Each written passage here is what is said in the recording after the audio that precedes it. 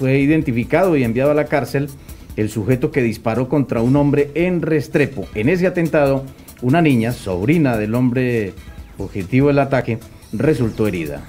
Al acoger la solicitud de la Fiscalía General de la Nación, un juez de control de garantías envió a la cárcel a Camilo Andrés Rentería Gómez, señalado como presunto responsable de disparar en varias oportunidades un arma traumática a un hombre y a una menor de edad que se movilizaban en una motocicleta en el municipio de Restrepo, en el centro del Valle del Cauca.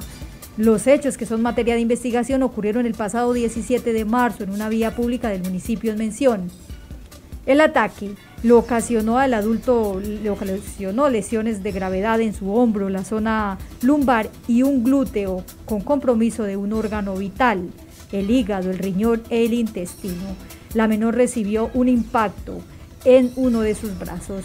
El presunto agresor se movilizaba en una motocicleta y fue capturado en flagrancia por personal de la Policía Nacional y en las audiencias concentradas, la Fiscalía le imputó cargos por los delitos de homicidio agravado en grado de tentativa, así como fabricación, tráfico y porte de armas de fuego y municiones agravado.